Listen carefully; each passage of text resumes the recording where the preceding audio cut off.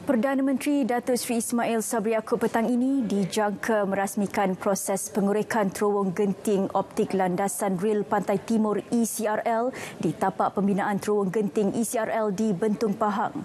Penggunaan kaedah mesin pengurek terowong TBM mencipta kelainan baharu memandangkan proses pengurekan terowong ECRL sedia ada di sepanjang jajaran 665 km itu melibatkan kaedah gerudi dan letup. Dilalah Kadir melaporkan. Di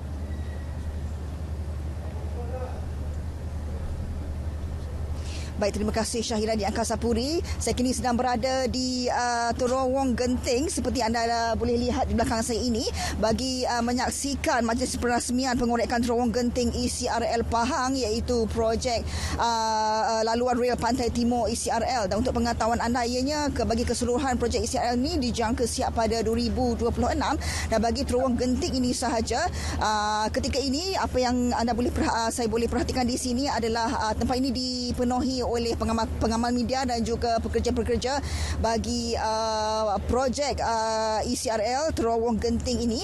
Dan uh, apa yang istimewa mengenai Terowong Genting ini adalah mereka menggunakan mesin yang dinamakan sebagai mesin TBM iaitu dari China. Sampai dari China kira-kira uh, tahun lepas pada Oktober iaitu uh, istimewanya adalah uh, dalam projek-projek ECRL terowong-terowong yang lain dalam projek ini mereka menggunakan kaedah uh, uh, kaedah letupan dan juga penggerudian bagi uh, menggerudi uh, bagi menggerudi terowong. Manakala bagi di sini mereka menggunakan mesin TBM ini mengikut kepada keadaan geologi dan juga uh, keadaan uh, keadaan naturalnya di sini. Dan untuk pengetahuan anda uh, bagi kapasiti uh, uh, mesin TBM ini mereka boleh ia boleh uh, menggali sehingga uh, 700 meter dalamnya dalam uh, sebulan dan uh, panjang uh, kurang-kurangnya dalam 266 meter dan untuk projek terowong uh, di Genting ini sahaja uh, kira-kira dalam 23,000 pekerja. Ya, dan di mana 70%-nya adalah uh, pekerja tempatan. Dan jika anda boleh impas kembali uh, sebenarnya uh, bagi projek ECRL ini ia menghubungkan antara uh, penumpang-penumpang di pantai timur uh, dan juga lembah Kelang dan juga di pantai barat tidak tidak lama lagi. Dan untuk pengetahuan anda uh, antara manfaat-manfaat ini boleh diperolehi daripada uh, projek ECRL ini adalah um, selain daripada pelaburan ini juga bagus untuk uh, baik untuk perdagangan dan juga uh, perniagaan pelaburan ya. Ini boleh diperhatikan daripada jajarannya itu sendiri.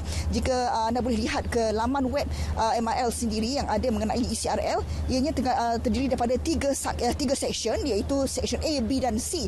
Yang mana bagi section A dari uh, Kota Baru menuju ke Dungon kemudian Dungon bagi section B hingga ke Mentakap kemudian Mentakap ke Port Klang dan antara kebaikannya kita tahu di antara jajaran-jajaran ini tadi adanya cerating adanya mentakap iaitu antara pusat-pusat tumpuan bagi uh, pelaburan dan juga uh, jika anda perhatikan di uh, Pahang itu sendiri banyaknya adanya gebeng iaitu uh, pusat perindustrian banyaknya kilang-kilang perindustrian di sana yang memacu uh, pertumbuhan ekonomi negara dengan uh, perindustrian-perindustrian di sana dan juga kaedah pembuatan. Oleh itu saja yang saya dapat uh, kongsikan bersama dengan anda buat ketika ini. Kita akan kembali lagi dalam semasa tiga dan kembali bersama dengan rakan saya uh, Syahira di Angkasa Puri. Silakan. Baik, terima kasih di Laila. Perdana Menteri Singapura Lee Hsien Loong berharap untuk membina hubungan lebih kukuh antara republik itu dan Malaysia termasuk dengan negeri Perak.